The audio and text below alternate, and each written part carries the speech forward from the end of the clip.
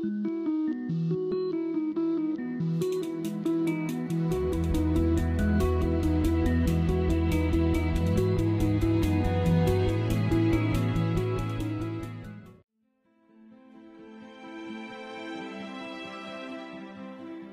வலையொலி காட்சி நேயர்களுக்கு கல்பனா தர்மேந்திராவின் அன்பு வணக்கம். இது உங்கள் அதிகாலை வழங்கும் திருவள்ளுவரின் குரலும் குரலும். இன்னைக்கு நம்ம நானூற்று அறுபத்தி எட்டாவது குரல் பார்க்குறோம். இந்த குரல் ஆற்றின் வருந்தா வருத்தம் பலர் நின்று போற்றினும் பொத்துப்படும்.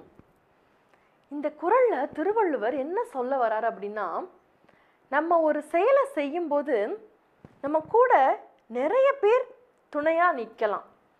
நிறைய பேர் நமக்கு பக்கபலமாக இருந்து நம்ம ஊக்குவிக்கலாம்.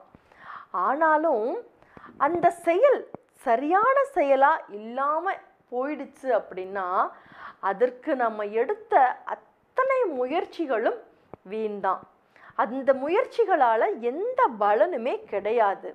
ஆக நாம் செய்யும் செயல் சரியாக இருந்து தக்க நேரத்தில் அந்த செயலை நாம் செய்தோம் அப்படின்னா எத்தனை பேர் துணை இருந்தாலும் அதில் வெற்றி கிடைக்கும்.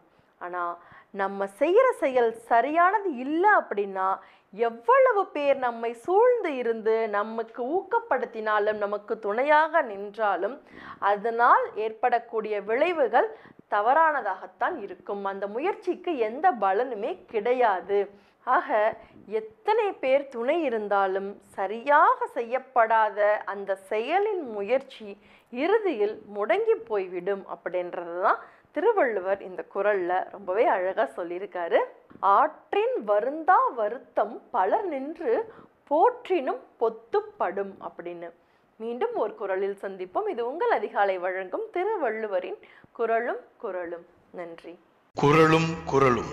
உலக பொதுமறையாம் திருக்குறள். காணத் தவறாதீர்கள் அன்பு நெஞ்சங்களே. ஒவ்வொரு நாளும் ஒரு திருக்குறளோடு உங்கள் அதிகாலையை உற்சாகமாக தொடங்குங்கள். நன்றி.